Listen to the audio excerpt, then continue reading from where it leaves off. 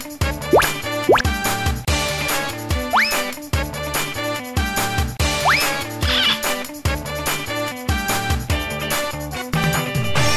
รกิจติดดาว สวัสดีค่ะคุณผู้ชมพบกันเช่นเคย ทุกๆ วันศุกร์แบบนี้ในเวลาบ่าย2โมงครึ่งกับดิฉันสุภดาวิจักชัยวงศ์และรายการธุรกิจติดดาวค่ะ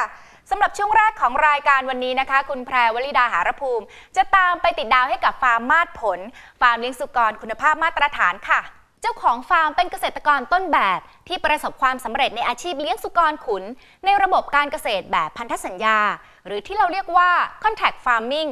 แถมยังสามารถสร้างนวัตกรรม การให้อาหารสุกรอัตโนมัติแบบประหยัดได้อีกด้วยค่ะ ไปทำความรู้จักกับระบบเกษตรแบบพันธสัญญา หรือว่า contract farming ที่นำมาใช้กับการเลี้ยงสุกรขุน ได้อย่างมีประสิทธิภาพกันก่อนค่ะ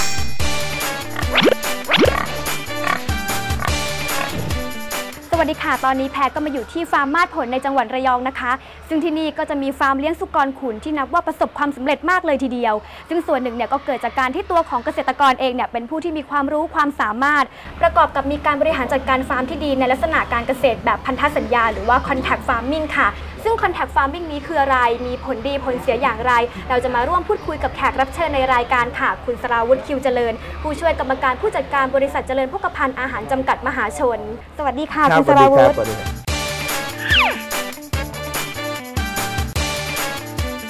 ก่อนอื่นเลยต้องถามคุณสราวุฒิก่อนค่ะว่าครับเกษตรแบบพันธสัญญาหรือว่า contact farming คืออะไรคะ เกษตรพันธสัญญานะฮะ ถ้าเข้าใจง่ายๆคือเป็นการ ตกลงร่วมกัน หรือการทำสัญญาร่วมกันระหว่างเกษตรกรกับบริษัทนะครับอ่าจริงๆแล้วถ้าเราเข้าใจง่ายๆ คือเกษตรพันธสัญญานี่ก็คือ เป็นการประกันรายได้ให้กับเกษตรกรอืมนะครับซึ่งเกษตรกรเนี่ยอ่าก็ถือส่วนที่เขารับผิดชอบค่ะนะเขาต้องมีโรงเรือน มีสาธารณูปโภค และมีแรงงานดูแล ตอนนี้เราเลี้ยงหมูอยู่ก็จะดูแลหมูให้ดีนะครับ ในส่วนของบริษัทซึ่งก็จะดูแลในเรื่องของการจัดการมีเจ้าหน้าที่มีสัตวแพทย์สัตว์บานเข้ามาดูแลค่ะและดูแลเรื่องตลาดนะครับเหมือนเป็นการแบ่งหน้าที่กันทอืมำ นะครับนี่คือเกษตรพันธสัญญา เอ๊ะแต่ว่าก็มีหลายคนมีข้อกังขานิดนึงว่าครับเกษตรพันธสัญญาเนี่ยมันจะเป็นการผูกขาดกับบริษัทรายใหญ่หรือเปล่า แล้วก็ครับเหมือนกับว่าเกษตรกรเนี่ยจะทำหน้าที่เป็นเสมือนแค่คนเลี้ยงคงเลี้ยงสัตว์ป้อนคให้รับกับบริษัท ตรงนี้คือข้อเท็จจริงมันเป็นยังไงอะข้อเท็จคะจริงก็คือว่าต้องยอมรับว่าประเทศไทยเราเนี่ยในเรื่องของการตลาดด้านปศุสัตว์เนี่ย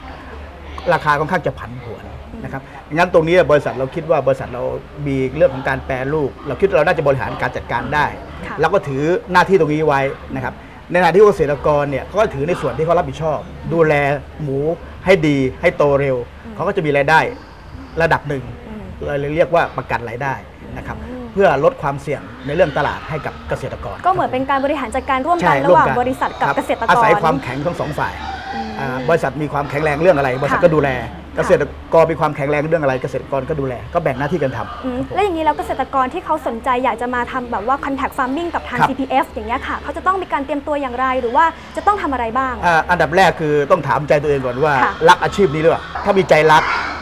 มีที่ดินค่ะณวันนี้เราก็สามารถที่จะทำธุรกิจ contact farming ร่วมกับ CP ได้ครับอืมคือไม่จำเป็นต้องมีเงินทุนไปลงทุนขอ่านาดนั้นจริงๆณวันนี้เนี่ยอ่าระบบ สินเชื่อของธนาคารหลายธนาคารเนี่ยเปิดโอค่ะเพนตรงนี้อยู่นะครับขอให้เกษตรกรมีใจรักอาชีพนี้ก็สามารถทำได้ครับ แล้วอย่างนี้การเกษตรแบบนี้เนี่ยมีผลดีผลเสียอย่างไรบ้างคะคุณสราวุฒิอ่า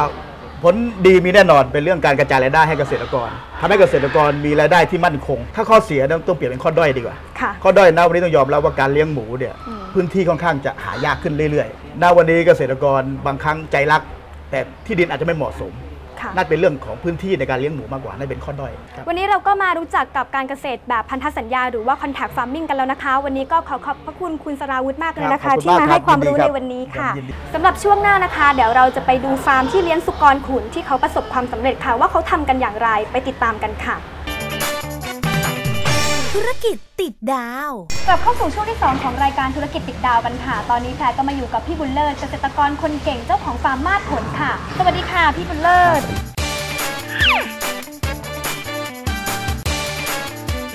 พี่บุญเลิศคะเห็นหมูนี่เยอะไปหมดเลยพี่บุญเลิศเลี้ยงมานานหรือยังเอ่ยสามปี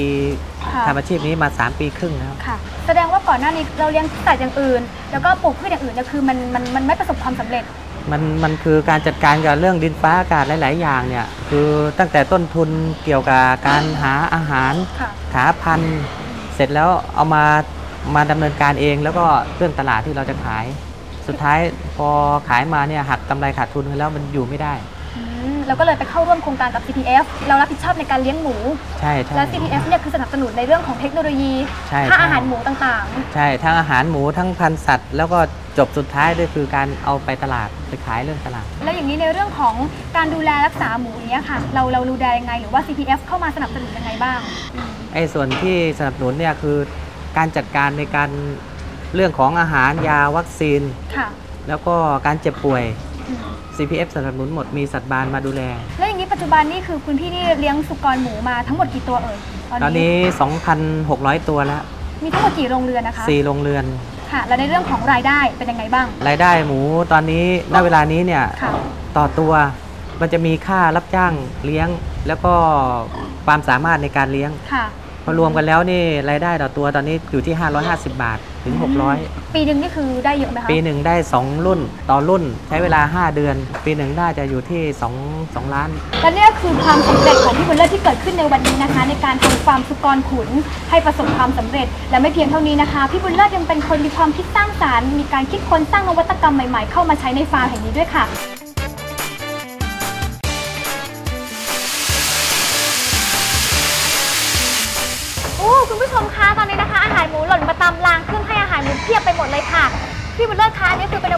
นวัตกรรมใหม่ที่พี่บุญเลิศคิดค้นขึ้นมาใช่ไหมคะอ่าใช่ครับนวัตกรรมนี้คือเขาเรียกว่าอะไรเอ่ยเอ่อเครื่องที่ช่วยให้อาหาร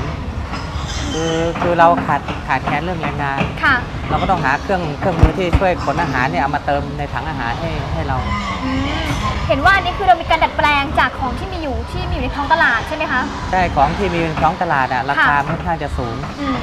ของเรานี่คือเราดัดแปลงเราเอาเราเอาวัสดุอะไรมาบ้างเอ่ย คือท่อท่อที่ใช้ลำเลียงเราก็ใช้ค่ะ ใช้ท่อน้ำตามท้องตลาดที่มีขายที่ต่อน้ำเนี่ย PVC ทั่วไปเนี่ยค่ะ เอามาต่ออืมใช้งานแล้วอุปกรณ์อื่นๆที่ต้องเป็นอะไรที่ซับซ้อนเราก็ตัดออกก็คืออันนี้คือเครื่องอันนี้คือสามารถให้อาหารหมูได้ทุกโรงเรือนเลย ได้พร้อมกันทั้งหมดเลยตัวนี้อย่างนี้มันช่วยลดต้นทุนมากไหมคะ ลดต้นทุนต่อเครื่องที่สร้างมานี่ค่ะอยู่ที่ประมาณ 30,000สามหถ้ามื่ซื้อนท้องตลาดอยู่ประมาณ 80,000 แปดหมื่นอ่าอยู่ประมาณ80,000แล้วค่าใช้จ่ายที่30,000เนี่ยค่ะ เทียบกับแรงงานที่เราต้องจ้างเขามาขนอาหารให้ค่ะ ให้กับหมูเนี่ยแค่เดือนเดียวก็หมดแล้ว แล้วพี่บุญเลิศคะอย่างนี้คือพี่บุญเลิศเนี่ย ทำเออเขาเรียกว่าอะไรเป็นเป็น contact farming กับทาง CPF ก็คือต้องใช้นวัตกรรมใช้อุปกรณ์ต่างๆของ CPF อย่างนี้เราคิดคนนวัตกรรมมาใช้ในในฟาร์มเนี่ยมันถือว่าผิดกฎเกณฑ์หรือว่าหลักเกณฑ์ข้อตกลงของเรากับบริษัทหรือเปล่า อ๋อตัวนี้ไม่ไม่ไม่เกี่ยวเลย เพราะว่าค่ะ การการเลี้ยงเนี่ยคือเราตัดส่วนแบ่งงานกันทำมาแล้ว ค่ะ คือการดูแลหมูดูแลการให้อาหารอืมอยู่ในโรงเรือนเราเนี่ย มันค่ะ เป็นหน้าที่ของเราที่ต้องดูแลให้ดีที่สุด เพื่อจะได้ผลตอบแทนที่ดี เพราะฉะนั้นวิธีไหนก็ได้ที่เราทำแล้ว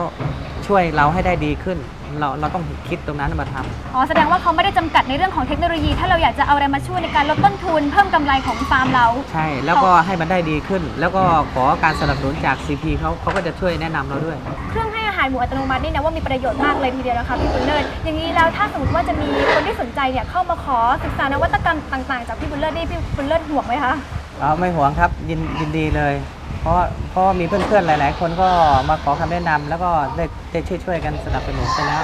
ว่าจะต้องทำยังไงแบบไหนในข้อมูลในการที่เราจะประกอบเครื่องขึ้นมา ก็แสดงว่ามีหลายคนเข้ามาศึกษาดูงานแล้วก็นำไปใช้จริงแล้ว มีมีมีหลายคนแล้ว แล้วมีจำนวนมากแล้วมีทั่วไปหมดอะค่ะพี่บุญเลิศ และนี่ก็คือตัวอย่างหนึ่งของอาชีพเลี้ยงหมูแบบเกษตรพันธสัญญา หรือว่า contact farming ที่ทำให้เกษตรกรเนี่ยมีอาชีพมีรายได้ที่มั่นคงและยั่งยืน ที่สำคัญไม่ปิดกั้นความคิดสร้างสรรค์ด้วยค่ะ ทางรายการขอติดดาวให้กับฟาร์มมาดผล ฟาร์มเลี้ยงสุกรขุนในโครงการส่งเสริมอาชีพของ CPF ที่นอกจากจะประสบความสำเร็จในอาชีพได้อย่างยั่งยืนแล้ว ยังสร้างนวัตกรรมในการเลี้ยงสุกรได้อย่างน่าทึ่งอีกด้วยล่ะค่ะ ธุรกิจติดดาว